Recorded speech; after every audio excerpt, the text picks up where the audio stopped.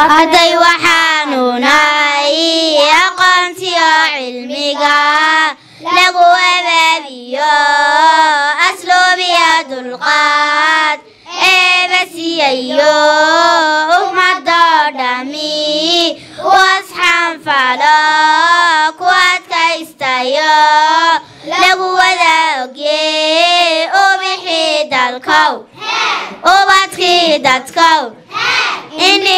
indhiidantow maabaalgudnaa dhowbawrka hore inta uu socdo kan dabana ogye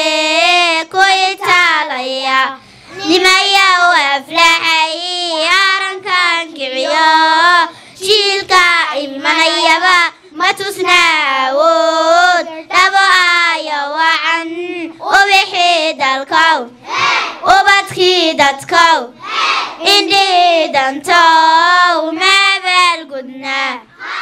waxaanu safar dalxiis oo kooban ugu baxnay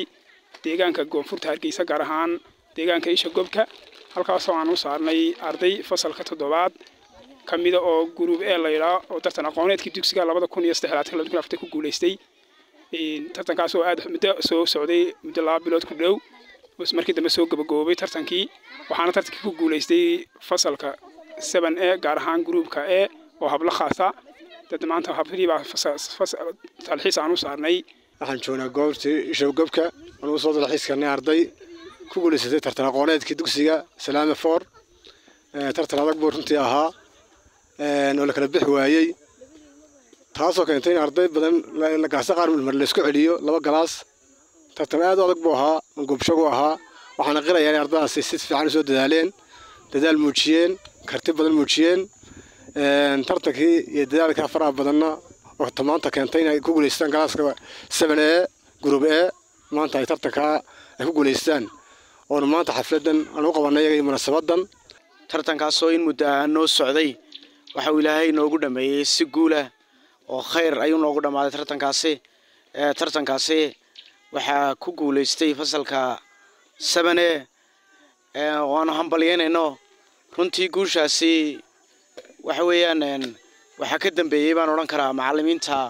oo dadaal badan iyo juhdi badan geliyay ardayda. Maanta anagoo gala seven a waxaan ku soo booqanay deegaanka ishagoka maadaama tartan aqooneedkii aan qaadnay. Waxaan kula rajeynayaa fasalada kale salaami berinberi for ma doonaysaa inaad ka mid noqoto warbaahinta nolosha islaamka islamarkaana aad hesho muxaadaraad iyo weliba barnaamijyo diin iyo aakhiradaada ku xasuusinaya. Warbaahinta nolosha islaamku waa warbaahin ka shaqaysa arrimaha dacwadda islamarkaana leh adeegyada baraha bulshada. Moobeelkaaga gacanta ayaad kala socon doontaa warbaahinta nolosha islaamka. Fadlan ka mid noqo warbaahinta nolosha islaamka. Haddaba waxaad ku xidhnaataa adeegyadeeda baraha bulshada sida facebooka tictokka تويتر يوتيوب